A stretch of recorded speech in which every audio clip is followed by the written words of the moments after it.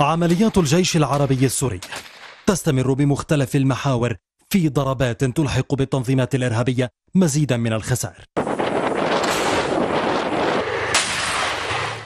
مصدر عسكري.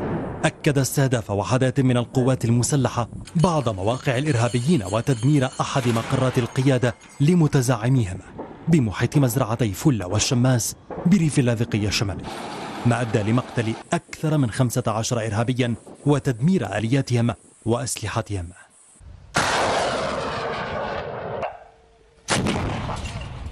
على محور الجنوب تم استهداف تجمعات الإرهابيين وتدمير تحصيناتهم وآلياتهم في حي الكرك ومخيم النازحين ومحيطه بدرع البلد ومقتل وإصابة العديد من الإرهابيين.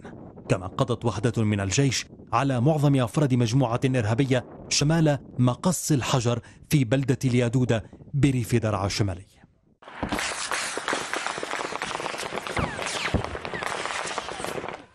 في المنطقة الشرقية استهدفت وحدات الجيش تجمعات وتحركات داعش الإرهابي في جبل الثردة وعلى الساتر الشرقي لمطار دير الزور.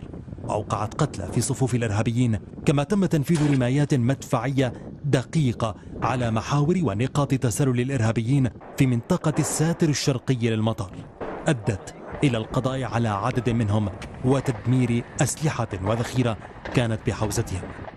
عمليات على امتداد جغرافيا الوطن تستمر.